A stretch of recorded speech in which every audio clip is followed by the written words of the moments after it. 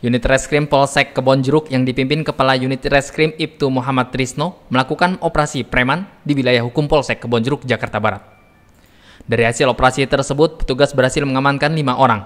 Keempat di antaranya diamankan di Jalan Ratu Nusa Indah, Kelurahan Duri Kepah, Kecamatan Kebonjeruk. Dan satu orang di antara kelima tersebut diamankan di Jalan Pesung Koneng, Kelurahan Kedoya Utara, Kecamatan Kebonjeruk, Jakarta Barat. Lalu kelima orang tersebut diamankan dan dibawa ke Polsek Kebonjeruk untuk dilakukan pendataan identitas dan pembinaan selanjutnya diserahkan ke Dinas Sosial Jakarta Barat. Dari Jakarta, tim liputan Tribrata TV, salam Tribrata.